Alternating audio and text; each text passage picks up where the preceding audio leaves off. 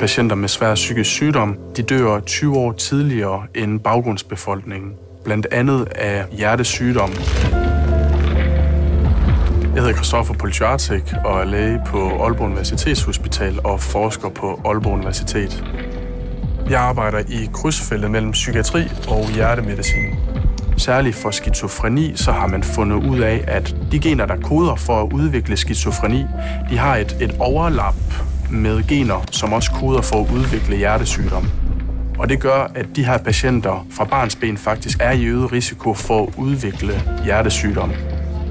Udover det, så får patienterne også en mængde medicin, som også kan påvirke hjerterytmen.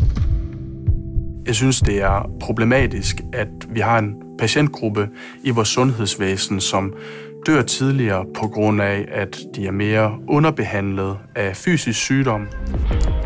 Jeg har fundet ud af, at blandt patienter med svær psykisk sygdom, at der er der en overrepræsentation af nogle forskellige hjertekardiogram-forandringer.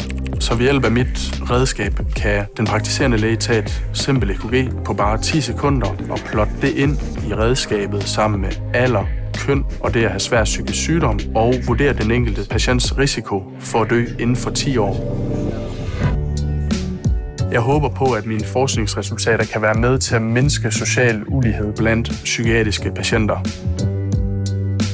Jamen, jeg var faktisk på, på arbejde øh, i, i forbindelse med at arbejde med patienter, og så ser jeg den her mail, og, og skulle lige læse den et par gange for at virkelig forstå, at øh, jeg rent faktisk har vundet. Jeg tænkte, det var vanvittigt.